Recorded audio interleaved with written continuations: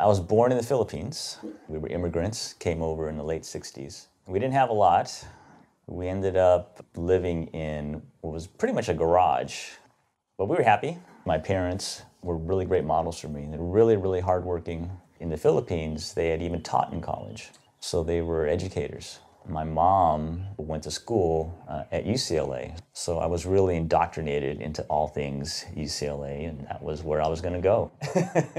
My mom and dad wanted their only child to be a physician. Part of the process, I thought, would be why don't I just check out some research and put that on my med school application. Back then, there used to be a kinesiology department. I happened to get into a research lab and I was hooked. Uh, I met my wife in the same lab where I was doing research. What's funny about that is uh, she ended up becoming a physician. My mom and dad were kind of disappointed that I never became a physician, so I promised them, well, I'll marry a physician, and that's exactly what that's exactly what happened. So yeah, my wife and I are really lucky. We have two tremendous sons. So there's this very small town, just maybe an hour's plane ride south of Manila. Uh, it's this place called Bacon Sorsogon you know, they're fishermen or they're farmers. So the town would have typhoons and landslides. And there were a couple years where they had it pretty bad.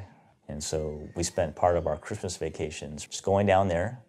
We bought a bunch of medicines, and, and so my wife did basic health care for folks who needed it. Anybody who wanted to see a physician came to my uncle's house, and we were there. My oldest son did patient intake.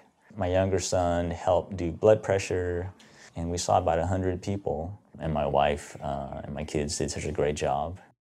I grew at Cal State LA, and what ended up happening is I got really turned on to just helping people. Cal State LA gave me the freedom to do things, and so I started the Mobility Center, which is a clinic. The idea was to have kinesiology students learn how to do exercise therapies. So it was really a, a service learning kind of approach. The Cal State LA students are so good at service learning, and our students just ate it up. I've still maintained a basic science research laboratory, and there we're trying to understand how does exercise change the biochemistry of the spinal cord?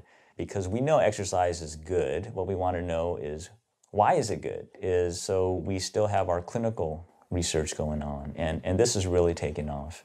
I have some tremendous colleagues, and uh, we are working together on a project to help people who have spinal cord injuries and are wheelchairs users, help them to exercise by developing apps. Um, but when I at the Cal State LA, what I found was the ability of these students to interact with other people, to have empathy and just to be, I think, all around really strong interpersonal skills. What you want is somebody who can actually help you feel good about yourself. And, and I think that's the type of person our students have been, and that's what surprised me and made just being at Cal State LA fantastic.